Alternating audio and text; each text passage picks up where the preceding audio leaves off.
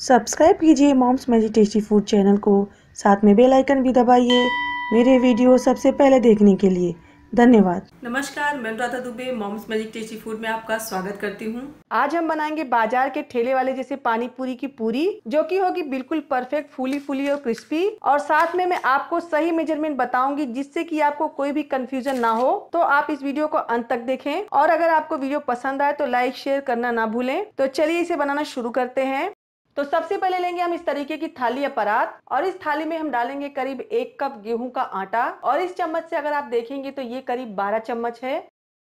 आटे और सूजी का मेज़रमेंट बहुत ही इंपॉर्टेंट है। तो यहाँ पे इस पूरी को बनाने के लिए गेहूँ के आटे और सूजी का मेज़रमेंट बिल्कुल परफेक्ट होना चाहिए। अब हम इसमें डालेंगे आधा कप सूजी। इसे बनाने के लिए आप मोटी सूजी का यूज़ करें, क्योंकि इससे जो पूरिया है वो काफ़ी क्रिस्पी और करारी बनती है। अगर आप इसे चम्मच से मापेंगे तो ये करीब छह चम्मच है। अब हम इसमें डालेंगे एक टेबल स्पून बेकिंग पाउडर इन सभी चीज़ों को हम अच्छी तरह से मिक्स कर लेंगे। यहाँ पे आप एक बात का ध्यान रखें कि गेहूँ के आटे से सूजी हमेशा आधी होनी चाहिए। यहाँ पे मैंने 12 चम्मच गेहूँ के आटे में 6 चम्मच सूजी को डाला है। अगर आप पूरियाँ ज़्यादा बनाना चाहते हैं तो यही मेज़रमेंट फॉलो करके आप आटा ज़्यादा या कम ले सकते हैं। अब हम इसमें थोड़ा थोड़ा पानी डालेंगे और इसका एक सख्त डो लगाकर तैयार करेंगे। जैसा सख्त डो हम पूरियों के लिए लगाकर तैयार करते हैं, उससे भी ज़्यादा सख्त डो लगाकर हमें इसे तैयार करना है। जितनी पानी की ज़रूरत होगी उतना उतना डालकर इस डो को हम लगाएँगे। अगर आप इसमें एक साथ पानी डाल देंगे तो जो आपका डो है, वो गीला हो जाएगा और आपकी जो पूरियाँ है, वो अच्छी तरह से नहीं बन पाएँगी। तो इसलिए हम इसमें थोड़ा थोड़ा पानी डालकर इसे हाथों से अच्छी तरह से मसल मसल कर इसका डो तैयार करेंगे। अगर आप इस डो को लगाने के लिए इस तरीके की थाल या परात का यूज़ करेंगे तो आपको इस डो को मसलने में काफ़ी आसानी होगी। तो इस तरीके से मसल मसल का इसका हमने सख्त डो बनाकर तैयार कर लिया है। तो यहाँ पे आप देख सकते हैं कि पूरी के आटे से भी कड़क डो लगाकर हमने तैयार किया है। सूजी हमारी अच्छी तरह से फूल जाए तो इसके लिए हमें इसे आधे घंटे के लिए ढककर छोड़ देंगे। तो आटे को ढक के रखे हुए मुझे 30 मिनट हो चुके हैं। तो चलिए एक बार आटे को चेक कर लेते हैं। तो यहाँ पे आप देख सकते हैं कि हमारी सूजी भी अच्छी तरह से फूल गई है और आटा भी हमारा और सख्त हो गया है। तो अब हम इस आटे को 10 से 15 मिनट तक अच्छी तरह से मस लेंगे तो इसके लिए प्लेटफॉर्म के ऊपर मैंने एक बूंद तेल डाला है ताकि जो हमारा आटा है प्लेटफॉर्म के ऊपर चिपके ना।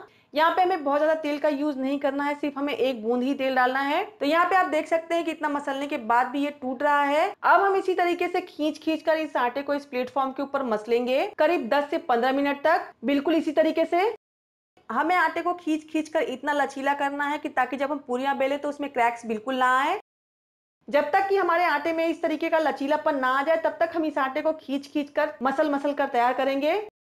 तो यहाँ पे मुझे आटा मसलते हुए 10 से 12 मिनट हो चुके हैं और जो हमारा आटा बिल्कुल लचीला और सॉफ्ट होकर तैयार हो चुका है तो इस तरीके का लचीलापन आना बहुत ही इंपॉर्टेंट है क्योंकि इसी से आपकी पानी पूरी करारी बनकर तैयार होगी। तो आपसे जितना हो सके आप इस आटे को अच्छी तरह से मसल मसल कर तैयार कर लें। तो हम इसे इस तरीके की सिलेंडर शेप देंगे और इसे तीन हिस्सों में डिवाइड कर लेंगे। और एक हिस्से को लेकर हम इसकी पूरियाँ बेल कर तैयार करेंगे। तो यहाँ पे हम दो हिस्से को उसी बाउल में डालकर इसे गीले कपड़े से अच्छी तरह से ढक देंगे। तो यहाँ पे मैंने लिया है एक हल्का गीला कपड़ा। आप जिस भी कपड़े पर पूरी को बेल कर रखे, वो कपड़ा हल्का सा गीला होना चाहिए, ताकि सारी पूरियों को बेलने के बाद भी हमारी जो पूरी है बिल्कुल सॉफ्ट हो। पूरी अगर रखने के बाद कड़क हो जाएगी तो वो बिल्कुल फूलेगी नहीं। तो अब हम एक लोई लेकर पूरियाँ बेलना शुरू करेंगे। आप यहाँ पे एक बात का ध्यान रखें कि पूरियाँ बेलते समय सूखे आटे का बिल्कुल यूज़ ना करें। इस तरीके से घुमा घुमा कर इस पूरियों को बेल कर तैयार करें। तो इसे बेलने के बाद आप इसे बहुत ज़्यादा पतला या बहुत ज़्यादा मोटा ना बेलें। तो बिल्कुल इसी तरीके की थिकनेस होनी चाहिए इस पूरियों की। अब हम लेंगे इस तरीके का एक डब्बे का ढक्कन और इसी ढक्कन से काट कर हम सारी पूरियों को तैयार करेंगे। अगर आपके पास कटर है तो आप उसका यूज़ कर सकते हैं। तो इस तरीके से दबा दबा कर इस ढक्कन से हम सारी पूरियों को एक साइज़ की काट कर तैयार कर लेंगे।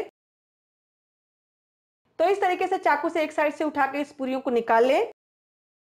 तो यहाँ पे आप देख सकते हैं कि जो पूरियों की थिकनेस है वो बिल्कुल परफेक्ट बनी है। तो अब हम सारी पूरियों को उस टावल पर रख देंगे और एक दूसरा कपड़ा लेंगे, इसे भी हम हल्का सा गीला कर लेंगे और इसी कपड़े से हम इस पूरियों को ढकेंगे ताकि जो हमारी पूरियाँ है वो सूखे ना। तो यहाँ पे हमने सारी पूरियों को बेल कर तैयार कर लिया है। तो अब हम इस पूरियों को तलना शुरू करेंगे। पूरी को तलने के लिए हमने यहाँ लिया है कढ़ाई में तेल और तेल को भी हमने अच्छी तरह से गर्म कर लिया है। तो सबसे पहले हम वो पूरी तलेंगे जो हमने पहले बेल कर तैयार की हुई है। वहाँ से इस पूरियों को तलना शुरू करेंगे। तो यहाँ पे आप पूरी तलते समय एक बात का ध्यान रखें। जो पूरियों का निचला हिस्सा टावल के ऊपर है, वो कढ़ाई में पूरियों को डालते समय नीचे ही रहना चाहिए। क्योंकि अगर आप इस तरीके से पूरियों को तलेंगे तो वो बिल्कुल परफेक्ट बनकर तैयार होंगी। इस तरीके से करछी से तेल उठा उठा कर आप पूरियों के ऊपर डालते रहें, ताकि जो आपकी पूरियाँ हैं वो दोनों तरफ़ से अच्छी तरह से सिक कर तैयार हो और बिल्कुल क्रिस्पी और करारी बने। पूरियों को तलते समय आप गैस का फ्लेम बहुत ज़्यादा हाई या बहुत ज़्यादा लो ना करें। नहीं तो आपकी जो पूरियाँ है वो तलते समय बहुत अच्छी तलेंगी, लेकिन बाद में वो सॉफ्ट हो जाएँगी। तो इसलिए आप इसे मीडियम फ्लेम पर तलें और जब भी तलें, तब भी आप पूरियों के ऊपर इस तरीके से तेल डालते रहें। तभी जो आपकी पूरियों का रिज़ल्ट है बिल्कुल बाज़ार जैसा परफेक्ट आएगा। तो इसलिए आप इन बातों का ज़रूर ध्यान रखें। तो यहाँ पे आप देख सकते हैं कि हमारी पूरियाँ कितनी क्रिस्पी और करारी बनकर तैयार हुई हैं। तो यहाँ पे मैं आपको दो से तीन पूरियाँ और तलकर दिखा देती हूँ कि आपको किस तरीके से पूरियों को तलना है।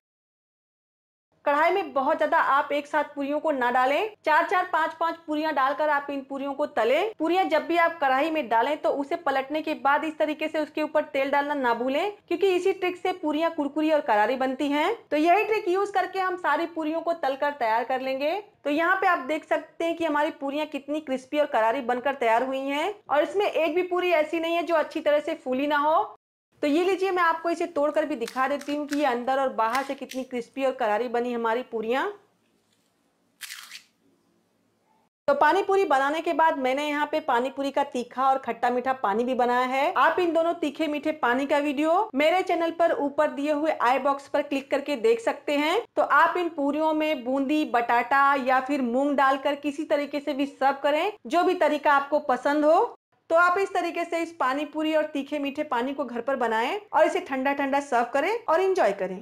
अगर आप मेरे चैनल पे नए हैं तो उस सब्सक्राइब के लाल बटन को दबाना ना भूलें क्योंकि वो बिल्कुल फ्री है। और अगर आपको ये रेसिपी मेरी पसंद आई हो तो लाइक भी ज़रूर कर दीजिएगा। तो मिलते हैं अगले वीडियो में।